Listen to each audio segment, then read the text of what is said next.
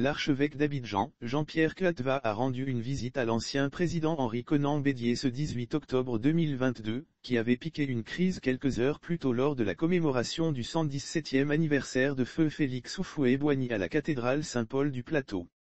L'homme de Dieu, l'archevêque d'Abidjan, Jean-Pierre Coatva a rendu une visite à l'ancien président Henri Conan Bédier ce 18 octobre 2022, qui avait piqué une crise quelques heures plus tôt lors de la commémoration du 117e anniversaire de feu Félix Houphouët-Boigny à la cathédrale Saint-Paul du Plateau. Ce malaise a créé une psychose dans la cathédrale, les partisans étaient abasourdis. Après cette célébration, l'archevêque d'Abidjan, cardinal Jean-Pierre Coatva et une importante délégation ont mis le cap sur le domicile de l'ex-président pour lui souhaiter ses vux de prompt rétablissement. L'homme de Dieu a pu constater que le président du PDCIRDA se porte comme un charme.